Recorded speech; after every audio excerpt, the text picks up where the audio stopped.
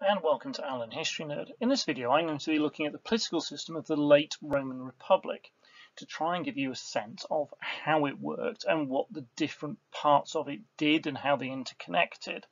Now it's a really unusual system, a bit different from a political systems that we see in the modern day and even different from other political systems that we see in the ancient world. So the political system in Rome, the late Republic, was a republic system. Now the, the, the, republic system was based on the idea of public representation of the Roman people. It wasn't, however, democracy as we would think of one in the modern day, nor was it democracy as, as we would think of in ancient Athens. Uh, before the Roman Republic, Rome had a king, and after it had an emperor. Um, so the Republic is neither a monarchy nor an autocracy what probably best describes it is, is the idea of an oligarchy, uh, where the power was shared within the senatorial class who dominated uh, the late republic and dominated control of Rome. That means doesn't mean, however, that they had sole power. They needed the support of the people, and the people uh, were represented not only um, through the senators themselves, but they were they were also and the magistrates they elected, but also uh, by the tribune of um, the plebs, and the, the tribune would hold considerable power and, and could, could block the actions of the magistrates.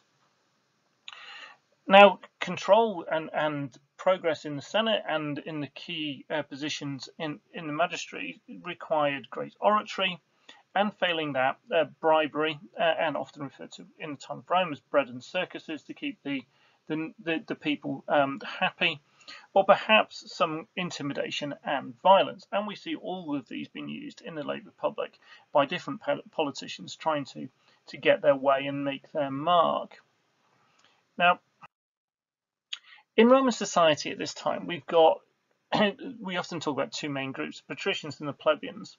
Now, the patricians were the original aristocratic families. Um, this distinction, this rank, didn't necessarily mean they were the richest people particularly. Uh, so non-patricians, plebeians, there would be some who would be as wealthy as some of the patricians. Um, they they were restricted in in some forms of the political system, a way of trying to balance the power uh, and prevent a complete uh, dominance of the oligarchy of, the, this ruling class. Um, so some positions in the political system were not open to them and were reserved for plebeians. Um, but on the, the, the, stepping stones of the Cursus Honorum, the, the kind of progress that you would make in a political career, then um, the patricians could, could take a lot of these roles two years earlier than a plebeian. The plebeians originally were the labouring class in Rome, but the, by the late Republic, some had become incredibly wealthy, uh, but others, in particularly uh, the, the, plebs urbana, uh, remained uh, poor. So so maybe by the end of the Roman, the Roman Republic, the, these kind of distinct groups are are not necessarily completely um, it, it, it's completely dominant in terms of the the impact that they have. However, um, someone of a patrician background, having the lineage of their of their great family, would would um, give them a degree of, of kind of dignitas, to give them a, a degree of power uh, and people would be more likely to look up to them. Um, the senatorial order were the very top of society. Um, membership was not hereditary, um, and after the reforms of Sulla, it, it, there were 600 men in the uh, in the Senate, and them and their families would be part of the senatorial class. The senatorial class essentially generally came out of the equestrian order, uh, which had a, a, wealth qualification of 400,000 sestertii in assets. Uh, and then we get the, the poor of differing degrees underneath the equestrian order, uh, making up about 80-90% of the Roman population. Citizenship by the late Republic had spread through most of Italy, uh, and we, we, we see a lot of, of controversy through this period of, of uh, military victories being followed by um, magistrates coming back and trying to, and trying to um, to find land for their veterans following the, their successful campaigns. Um, there were bonds of patronage existed between rich and poor, meaning that um, poor there would be groups of poor who would uh, who would owe a particular allegiance uh, to to a, a, richer member of the Roman society, and in exchange for that, the wealthier, more powerful Roman would look after uh, those who were lower down. Uh, there were also um, tribal bonds. Uh, Rome was divided into 35 tribes, four urban and 31 rural. Uh, because of things like assemblies, you, you, actually had to vote in per person, and then obviously it was much easier for the urban tribe, people in the urban tribe, to turn up, and so a small number of people could have a bigger impact in the uh, 31 rural tribes if they were actually able and willing to get into Rome for the votes. So I'm going to try and break down the, the constitution and the different moving parts and look at how they interact. So I'm going to start off by looking at this in, in, in fairly general terms. And I'm going to break it down and look at some of these individual bits in a little bit more detail. So the key figures in Rome are, are the magistrates, and they they, they would um, uh, propose laws. They would act as judges, administrators. They, some of them would hold military command, uh, and we'll see this in the Cursus Honorum, uh, and that there, there, were key um, key positions going through Quaestor to Aedile, uh, Aediles to Praetors to consuls. So these were often the most important uh, men in Rome, and they were elected um, annually. And there's another part in the magistrate which is censor, which was a slightly different position, which had a slightly longer term in office, which was um, 18 months. You had to have been a consul beforehand, and, and that largely looked at maintaining the the kind of the honor of the Senate and a kind of moral judgment and, and doing a census of the people and and kind of various administrative tasks and and they that that was kind of a, a the top really of the, the, the true magistrates but but not in practice the consul was the, the most powerful and strongest position so these magistrates are elected every year. Uh, there, there, are rules and regulations about when you can do the different ones and, and how often and things like that. Now, the magistrates would propose laws. Now, these these laws would have to then pass through various stages. So we have the Senate, and the Senate is probably the most famous part of, of the, the Roman political system and in a lot of ways it looks a bit like a um, a parliament and and it, it debates things and, and it makes judgments and the judgments it makes are uh, referred to as senatus consultium. Now as hinted in the language in that that these are advisory they are consultations. Now generally speaking the the people of rome would accept the judgment of their senate. Um, the Senate was it was a body after Sulla's reform of 600, and it was uh, made up of former magistrates. So you had to have held um, positions of, of consul or praetor or aedile or quaestor. Quaestor the lowest ranking. You had to have held one of those positions um, uh, to to then go into the Senate. Separate to that, we've got this this position of tribunes. The tribunes of the plebs were, were a, a kind of really key position. They could also, like the magistrates, propose uh, laws. They could also veto them. And this makes them incredibly important. Now, the, the, the, constitutional idea of this was to to stop the magistrates kind of overawing and, and just doing whatever they wanted if it was against the interest of the Roman people. And the tribunes would stand up for the people and veto what they were, uh, what was proposed. It makes it a very good position to hold because um, one of the key things that any magistrate is going to want is a tame tribune who can um, speak up for things that they want and veto things that they don't. Um, so it was a very important and powerful position you could hold. So as the lawmaking goes down, so you, you, you might have it proposed by a, a, one of the magistrates, by consul or praetor. Uh, the Senate may debate it and then recommend recommend that it's a good idea. The tribune then may um, this tribunes may not decide not to veto it. Um, we then go down into um, the, the various assemblies. So we've got the Comitia Plebis Tributa, uh, and this the, this assembly has uh, several jobs, and they um, they included electing aediles and and tribunes.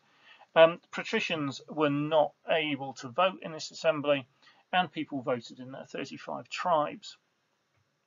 Uh, we got the Comitia Populari Tributa, which elected aediles and quaestors, uh, presided over by a consul or a praetor, and again, people voted in their 35 tribes. And we got Comitia Centuria, elected consuls and praetors. Uh, there was 193 centuries that the um, the Roman people were divided into, uh, and they were subdivided into um, seven classes.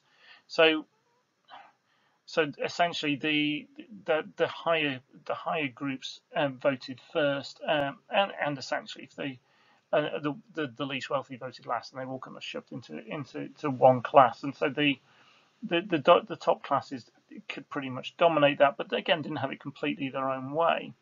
So the different laws would go through these different processes. So they come down potentially from a tribunal or a magistrate, they'd be looked at by the Senate, and then they go to the assemblies and they're voted on. And after they've been voted on eh, in one of these assemblies, they become law. So that essentially is the, the overarching bit. And we're going to look at some of these bits in a bit more detail. So the magistrates are the different positions on the cursus honorum. Uh, so elections take place for these positions annually. Um, most aims to get elected as early as possible. Um, it, it, each has a, a, an age at which you can uh, apply. Um, and ideally, a politician would work through each stage. There are some bits which are compulsory. There are some bits which aren't.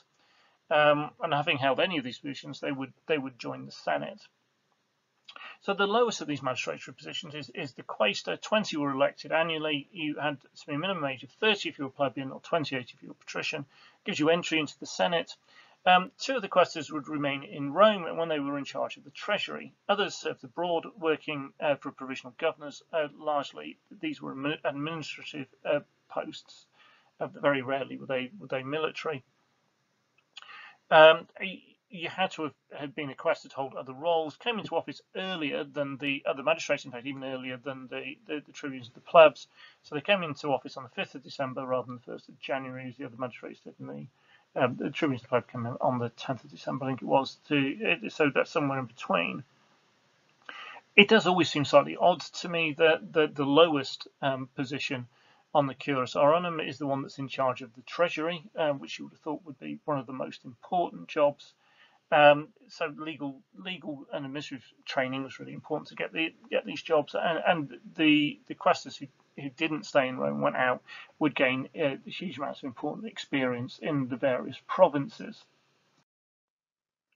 The next stage up is um, the aedile. Um, now you had to be um, again 36 if you were plebeian, 34 if you were a patrician. Uh, they're responsible for public buildings, uh, food supply to Rome, some games and street markets. Um, therefore, a good position to build support from the poor. So this is a really important position to hold if you want to build that political system, uh, political career going all the way up the different stages. It wasn't a necessary step. The quaestor was, but aedile uh, wasn't. But it, it, it definitely made it easier if you'd held it. Um, the deal had to be plebeian and supervise particular plebeian festivals. Um, so again, we can see the, the, being patrician doesn't necessarily uh, make everything easier. You can do things earlier, but some of the bits are are, are kind of uh, forbidden for you. You can't are positions you can't hold. Um, so the praetor, eight of these were elected each year, a minimum age of 39 if you're plebeian, 37 if you're patrician. Um, and their key role was presiding over law courts. the uh, praetor Urbanus stayed in Rome. Uh, they held imperium, uh, meaning they could command armies and impose laws, and they also had um, people kind of walking with them, guarding them as they went round. Um, they they presided over assemblies. So praetor is a, a really, really senior and important position. And this idea of imperium, is hugely significant. The other thing that's significant about praetor is when you become, once you've done your praetorship, you become pro-praetor, and that often um, leads to a military command or command of a, uh, a province, which again is a way of amassing uh, huge wealth and influence and possibly glory as well. Top of the cursus honorum is the consul. Um, now, the minimum age for this is 42 if you're plebeian, 40 if you're patrician again, we can we can see there are only two elected each year. So people tended to try and do things at the earliest age possible. So you tended to be competing against the same people.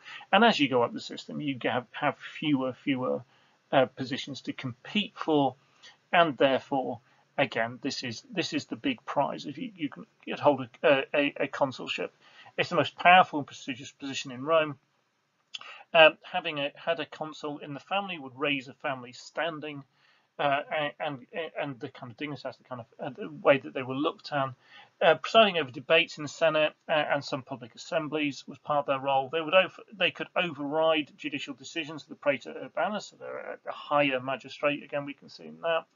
They were escorted by 12 lictors, and they wore uh, the toga praetexta, so again, this would they could they would stand out in their, their, their power and importance by the way that they were dressed, the fact that they they're escorted by these twelve uh, armed lictors, uh, and so they also held imperium, which meant that they could command armies.